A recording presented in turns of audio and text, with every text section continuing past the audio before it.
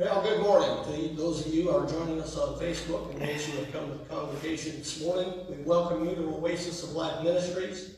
God's got a word for us this morning, so let's go ahead and proceed with the Word of God. Father, we thank you for this word this morning, a message from your heart to ours. And help us, Holy Spirit, to open our hearts to receive this message in its fullness, in its truth, in its spirit. We praise you for it. We thank you. We thank you.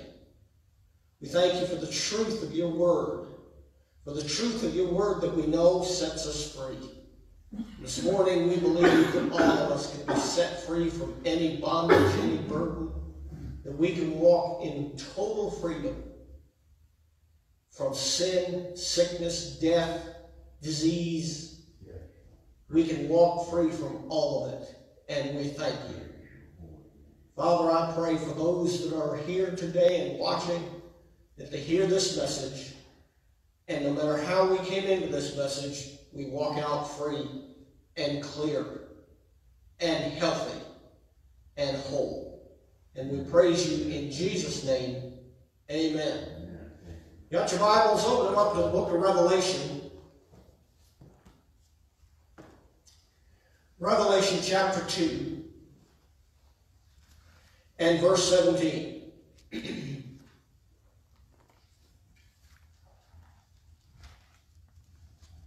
now, Jesus, this is all part of the letters that were written to the seven churches. And the Lord is talking here in verse 17. He that has an ear, let him hear. Well, we've all got ears, right? We've all got ears. But we need to open those ears to the Word. We need to open those ears to the voice of the Holy Spirit. Let him hear what the Spirit says unto the churches. I think it would be good if we heard what the Spirit had to say. Amen. Amen. Amen. To him that overcomes will I give to eat of the hidden manna and will give him a white stone, and in the stone a new name written, which no man knows, saving he that receives it. Now, Jesus is telling us that we can overcome. Notice he says, He that overcomes, to him that overcomes. We have a choice here. We have the choice to overcome. And he says he's going to give us something to eat of the hidden manna. I will give him a white stone. And in that stone will be a new name written. Now, to this particular church that he's writing to here, Pergamos, they were having a major problem with false doctrine. They had several, if you read this whole letter, they had several different false doctrines that this church was believing in. And it was costing them. Folks, we got to get to the truth. Amen. And so Jesus is saying, if you'll overcome the false doctrine, I'm going to open up the hidden manna, the Word of God. I'm going to reveal it to you. I'm going to bring you the truth.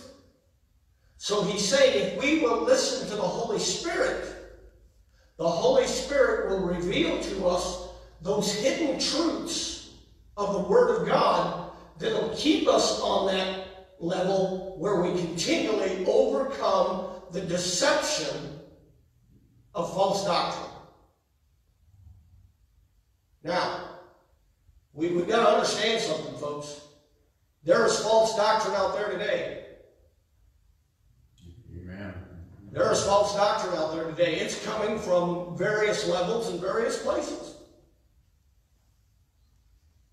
And a lot of false doctrine creates fear. Think about where things are at this year right here. We're in just about to go to December, finish up the year 2020, and I think people are in a hurry to see 2020 finished. and done. The problem with it is some of the things that have gone on are not finished and done. Hello? Amen. Number one, God's not finished and done. Amen. Hallelujah. His word isn't finished and done. The blood of Jesus isn't finished and done, and the anointing of the Holy Spirit isn't finished and done. Amen. But we have been inundated since about February or March with some kind of disease. The news media all the time talking about it, politicians talking about it, and even in the church. What's the main topic of conversation right now going on in the world? All over the world. It's about this virus. Damage it's doing, the people it's killing, the, you know, and it's sad that people are dying from it, don't get me wrong. But Satan has brought us into a place of fear. Through what? False doctrine. We've got an avenue that will crush that sickness, that disease, that COVID 19. It'll crush it. Amen. What we need to do from the pulpit and within ourselves is start preaching on the truth that Jesus shed his blood to heal our diseases. Amen. Hallelujah. Amen. We need to get a stronger voice than Satan's voice. And we need to overcome the false doctrine. Now look at Jesus here. He says, not only am I going to give you this revelation, I'm going to give to you a white stone. I happened to get a letter from Rick Renner this week, and it was very interesting, and it really kind of enhanced. Me. I've taken what he taught there as the Lord has led me to put this in here. And he was talking about Revelation 2.17.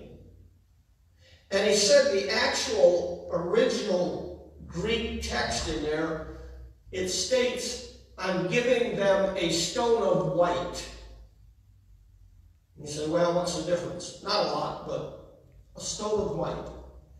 In these days that this book was written, the Roman government was in control. And if there was a trial, somebody was accused of a crime or something, and there was a trial, they would pick out a jury, and as those people from the jury came in, they would hand them two stones a stone of black and a stone of white. And they were told to listen to the whole, all the evidence, and then cast their vote on a stone of black if they were guilty, a stone of white if they were innocent.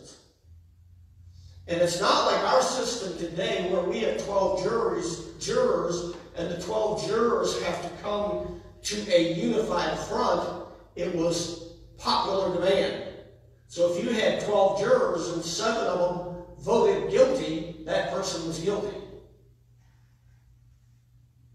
And it was all based on those stones. Jesus is saying here, when you overcome, I have seen and heard the evidence, and therefore I am putting forth a stone of white to let the judge, our Heavenly Father, know you are innocent. One vote, Hallelujah. one stone. Hallelujah. Thank you, Lord. Thank you, Father. Well, there was also another time they used those stone of white and stone of black. And this is kind of interesting because the Romans did have elections for their governmental positions. And when somebody was running for their Congress, the voters, when they went to register, would get two stones a stone of black and a stone of white. So when you went out and registered, you would register and then put one of those stones in the bucket. If you wanted that person to be in office, you would put a stone of white in there. But if you were rejecting that person, you would put a stone of black. So if a person got the majority of stones of white, they would be elected to office. So what Jesus is saying here is you've got my vote. I'm going to stand with you and stand by you as you step into your office with that new name, the office of a Christian in my kingdom. Amen. Hallelujah. So what we've got to look at here, folks, is okay, he who overcomes. Well, let's find out how we overcome. Just turn the uh, page a little bit here in Revelation and turn to Revelation chapter 12.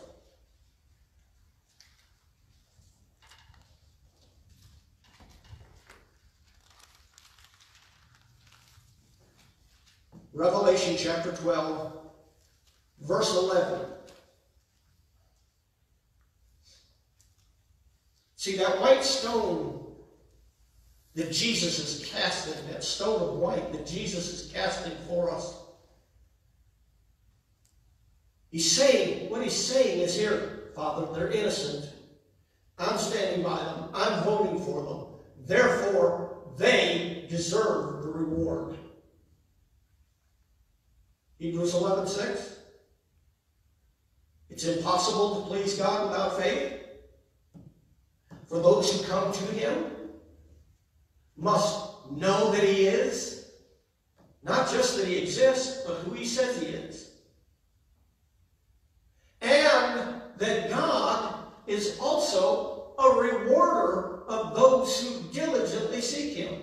So what Jesus is saying, I'm giving you this stone of white because I know you're operating in faith and I know you're diligently seeking what you need from the right place.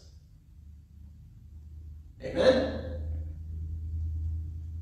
We got to get the body of Christ to stop being afraid of the rewards.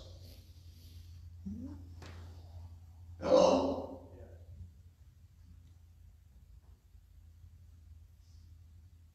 Get so concerned about God bringing those rewards. I, I really don't see a person in this place right now that if God was to start to funnel money into you, it'll cause, it'll cause you to be greedy.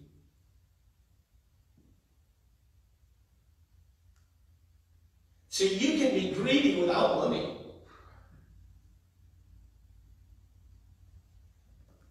And here's the answer right there. If I think, like some do, that if you throw enough money at it, it'll correct the problem, that's greed. Listen to what's going on. We need a bigger stimulus package. We need more of this, we need more of this, we need money, we need money, we need money. Folks, there's no, money out there for the government to throw at this problem anymore. And if they do, they gotta borrow it, and someday gotta pay it back. And who does that fall on? Us, taxpayers. I've yet to see a wealthy politician stand up and say, you know what, I'm, I'm going to throw in a portion of my wealth to pay off the national debt. If that's happened, tell me, because I haven't seen it.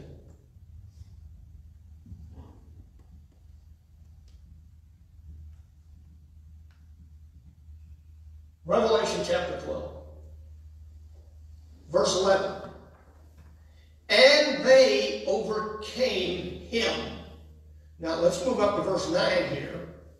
And the great dragon was cast out, the old serpent called the devil and Satan, which deceives the whole world. He was cast out into the earth, and his angels were cast out with him.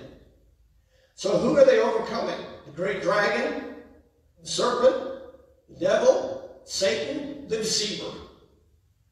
He operates under a few names. They overcame him by the blood of the Lamb and by the word of their testimony. And they loved not their lives unto the death. In other words, they weren't afraid to give a right testimony. People were being threatened in that day that if you were out in public and you talked about Jesus Christ, you could be killed on the spot.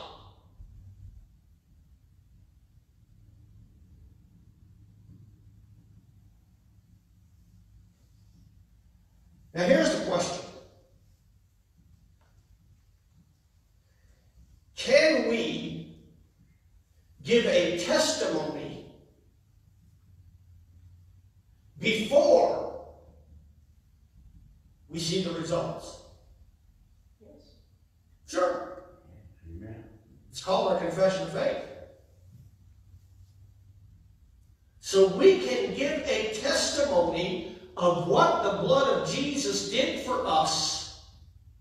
before we see the results. Amen? Yeah. So he's saying, you overcome by the blood and what it did for you, and by the word of your testimony of that blood.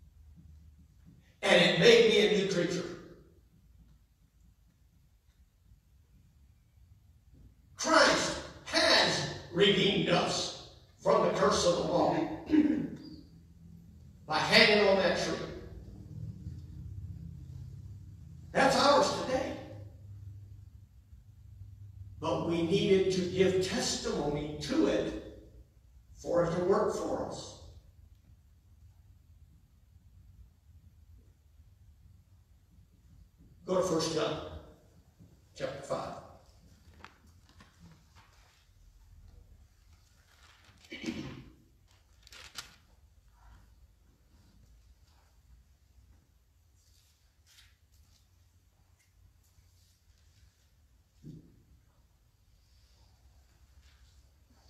First John 5 and 4. For whatsoever is born of God. Now, are you that whatsoever that's born of God this morning? Amen. Whatsoever is born of God overcomes the world. Whatsoever is born of God overcomes the world. And everything in it, and everything that's going on. And this is the victory that overcomes the world, even our faith. even our faith. So if we're going to be the overcomer to get that stone of light, then we need to know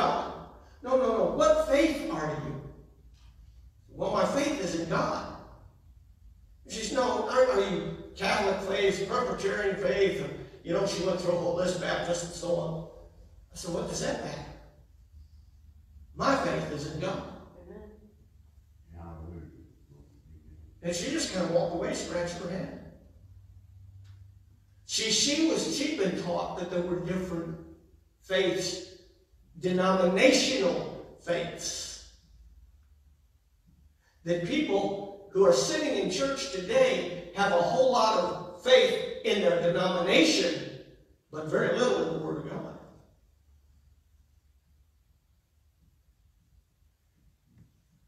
Where are we at? Our faith has to come from the Word of God. Amen. Because we are to be more than conquerors through Him who loves us. We are to overcome this world's system by our faith. So, turn to Mark chapter 11.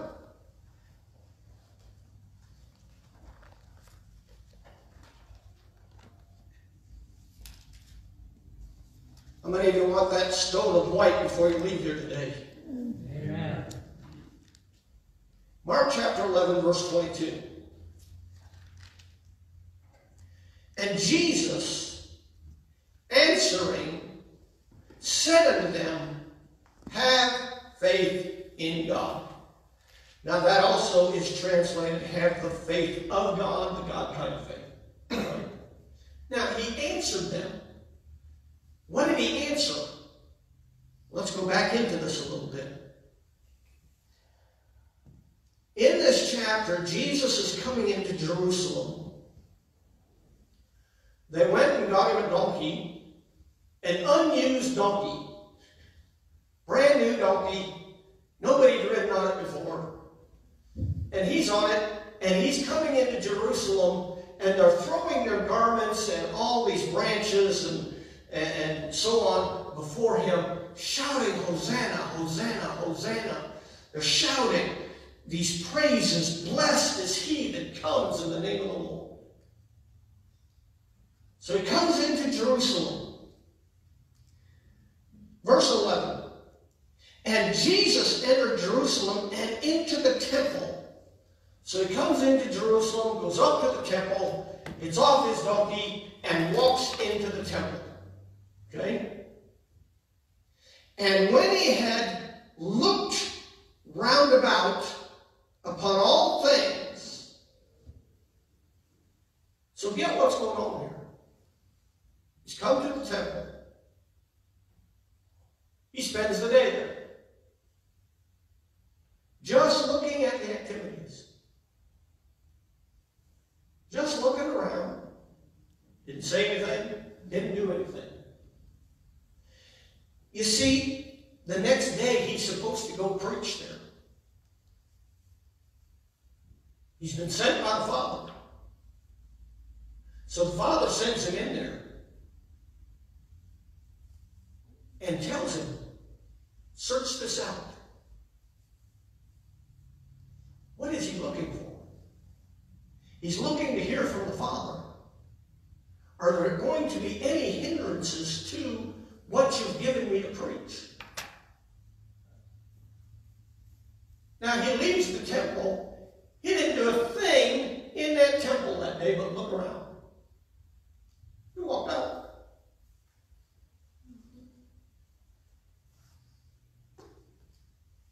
And now the evening time has come, and he went out into Bethany with the twelve.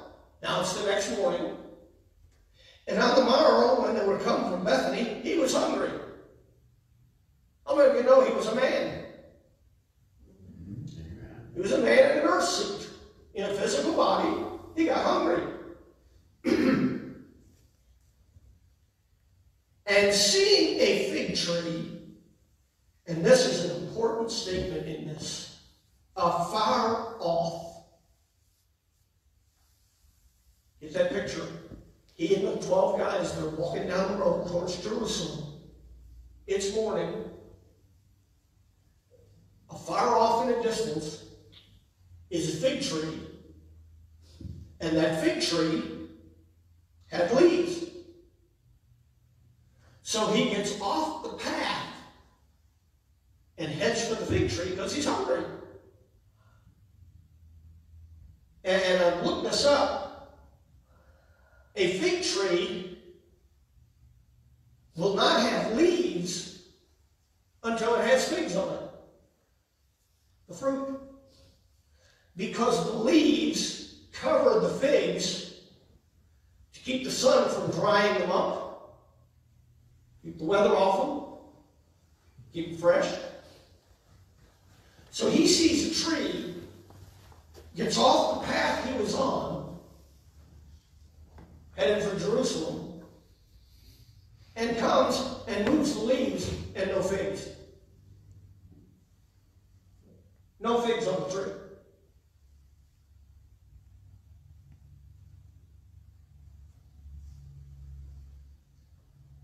And when he came to it, he found nothing but leaves.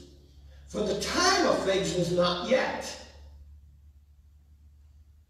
And Jesus answered and said unto that fig tree, How would you like to travel with this guy all the time? Now he's standing there talking to fig trees, answering a fig tree. I, I can imagine, I can imagine a couple of the guys says, Did you hear that fig tree say anything? No, I didn't hear anything. Did you hear that fig tree say anything? Nope, I didn't hear anything. Well, what happened? They followed him. They're over there. They heard this. No man eat fruit of you hereafter forever. His disciples heard it. And they moved on. Went back to the road and went back to Jerusalem. And they came to Jerusalem, and Jesus went into the temple and began to cast out them that sold and bought in the temple, and overthrew the tables of the money changers and the seats of them that sold doves. And he would not suffer that any man should carry any vessel through the temple. What was he doing? They turned this temple into a sales facility. Preying on people who were coming in there to pray and, and working on them to buy their wares and their goods. and that became more important than anything else that was going on in the temple. He called the place a den of thieves.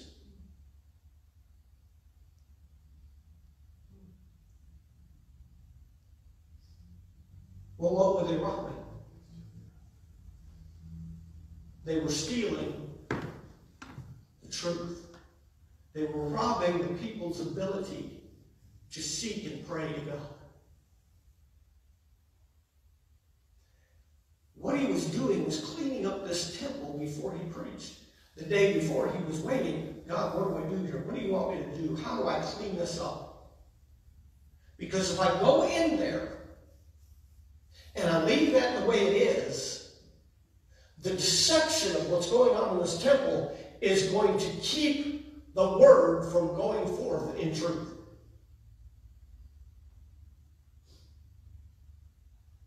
So he cleaned it up.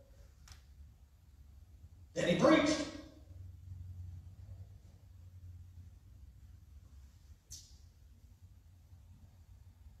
Verse 17, and he taught, saying unto them, Is it not written, My house shall be called of all nations the house of prayer? But you have made it a den of thieves. Now I'm sure that's not all he preached that day. But what he did, I, I wouldn't doubt he taught prayer. Effective prayer.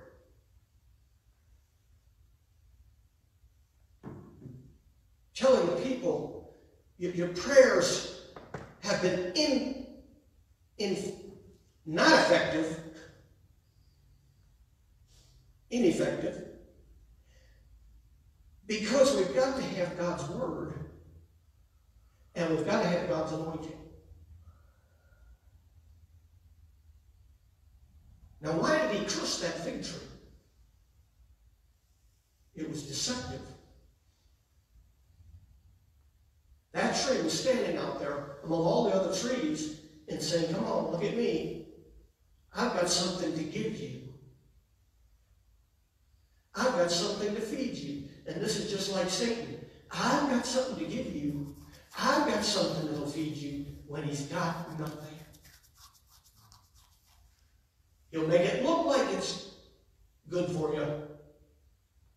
But when you get there, there'll be nothing. And so he cursed that fig tree. Told that no man would eat fruit from it ever again. Verse 18, and the scribes and the chief priests heard what he had preached, and saw how they might destroy him, for they feared him. because all the people were astonished at his doctrine. And when even was come, or the evening came, he went out of the city. Now, to go out of that city, they walked the same path, and they went by that tree. But apparently, the tree showed absolutely no signs that night of anything affecting it. Okay?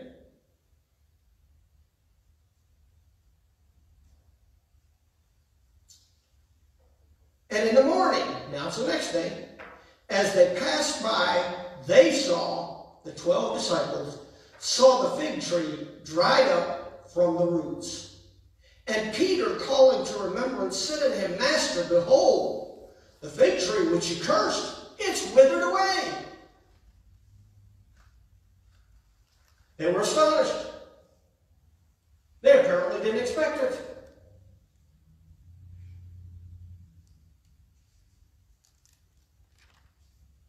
How long did it take for that tree to be withered up?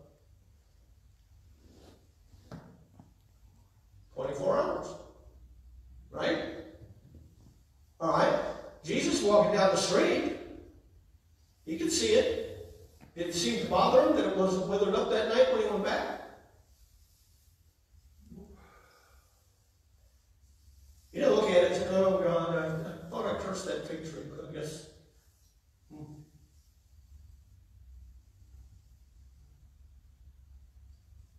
I wouldn't doubt there was a little bit of poking going on among the guys as they were walking by it. Hey, hey, hey, John, see, look, that tree, nothing. He cursed that this morning, but nothing.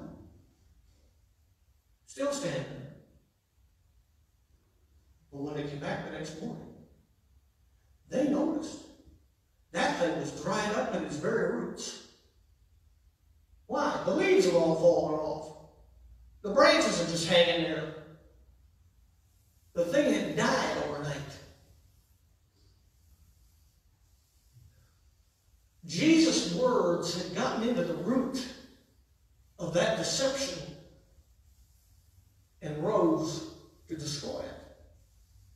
Now, and Jesus answered what Peter said have faith in God.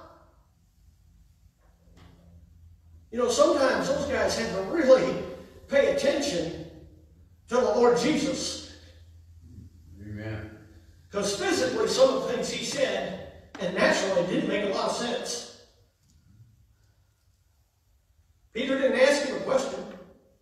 He made a statement. Lord, that tree you cursed is dried up. What you said worked. And he says, have faith in God. For verily I say unto you, that whosoever shall say unto this mountain, Now, when we were over in Israel three years ago, we were at this site. And as you stand there on that that road that they would have gone in, and you look just beyond where those trees would have been, there's a absolutely huge mountain range off in the distance. And so now he's saying, look, I did something small here with this tree, but your faith can do something even bigger with that mountain. If that mountain's in your way, if that mountain's causing you a problem, you can cast it out and get it out of your way.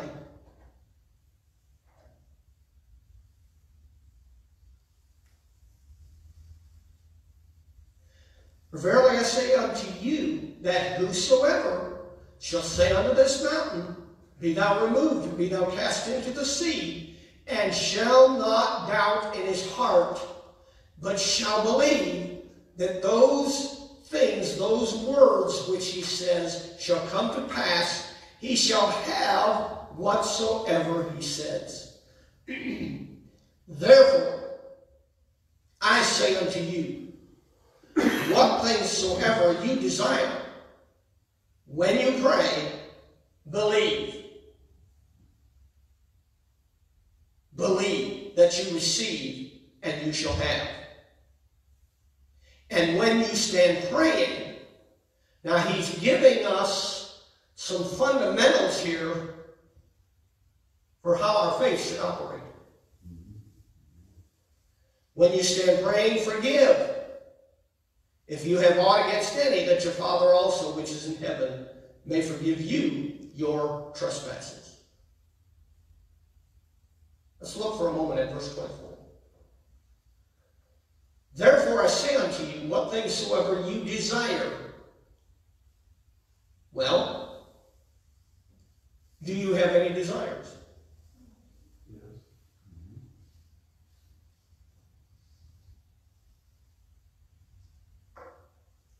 Do your desires line up with the will of God?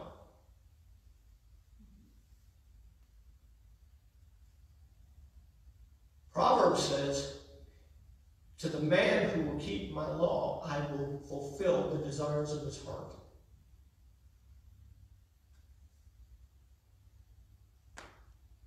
We have desires. Is it wrong to have a desire to be healed? No, that's the will of God. Amen. We wouldn't have any argument there.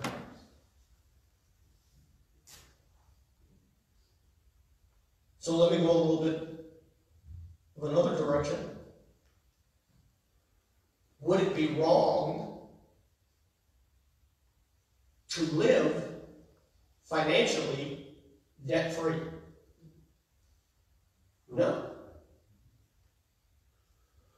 It's God's will for every man to prosper and be in health. Amen. So the desire to be out of debt and to be prosperous financially is part of God's will. So when you stand praying,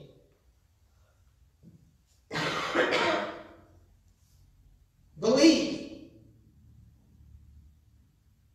So when does your belief have to be in place? When you stand praying. Well, now you've got to be down on your knees to pray. That's not what that says. I don't stand on my knees. I stand on my feet. So I can stand up and pray. Now you can kneel and pray. That's all right. There are several positions that physically that prayer takes, but folks don't make a religion out of the position you're praying from. Pray the word. Our belief has to kick in when we pray, and we believe then that we receive, and we shall have. Oh, you mean as soon as I believe it's going to come to me? Now listen closely. Yes. It's released from heaven.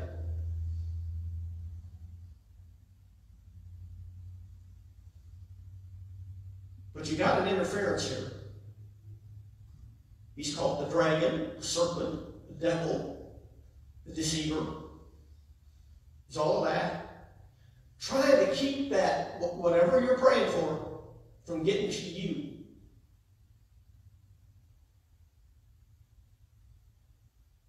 He's trying to stand in the way of that. Well, if God released it from heaven, how can he stop it? He can't. Now, let me say that again. He can't stop it. He has not got the power or the ability to stop it. Let me give you an example. God told Satan right in the beginning, I'm sending one. You may bruise his neck, but he is going to take and stand in your face, and he's going to change the world. Paraphrasing. Could Satan stop Jesus from coming into this earth? Not a chance.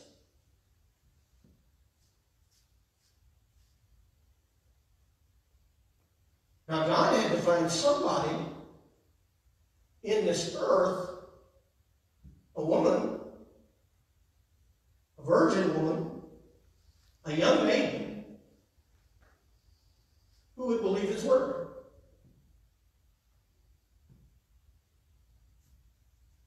He found Mary. Talked to her. Wanted to know if he could bring Jesus in through her. And she said, Be it done according to your word.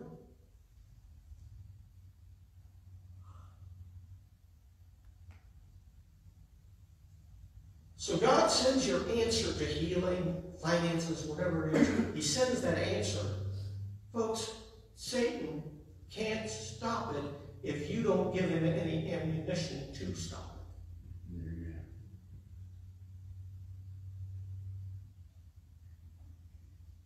We've got to overcome it. How do we overcome it? By our faith in God's word and his promises. Amen. Let me ask you. Did Satan stop any of you from being born again? He can't. But did he ever harass you to try and convince you you weren't born again? I'd be surprised if he didn't. Sure he has. Even after 30, 40, 50 years, he's still trying to convince people they're not born again. Folks, we just, we gotta go by the word. Amen? We gotta go by the word. Jesus shed his blood not only for the new birth, but he shed his blood in so many ways, so many times. He covered every aspect of our life with that blood.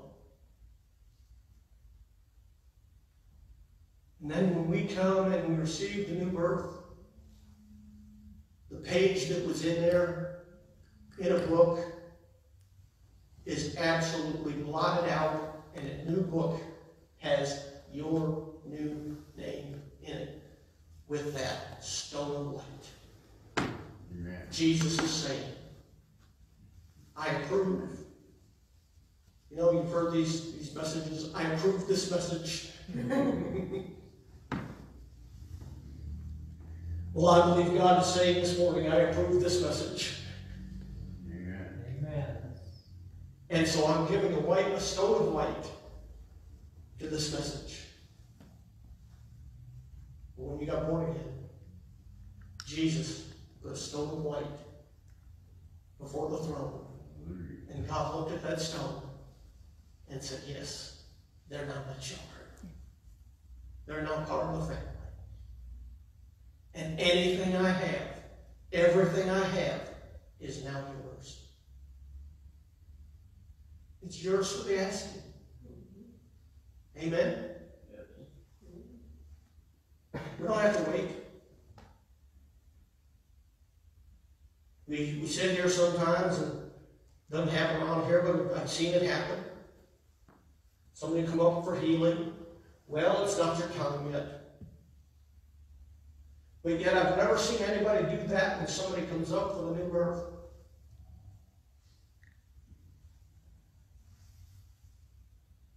Hello. It is your time, folks. Amen.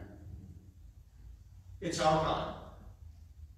And right now, it's our time to take over what's going on in this world. Hallelujah. Amen. Amen. Amen. You better stay at your feet. Thank you, Father.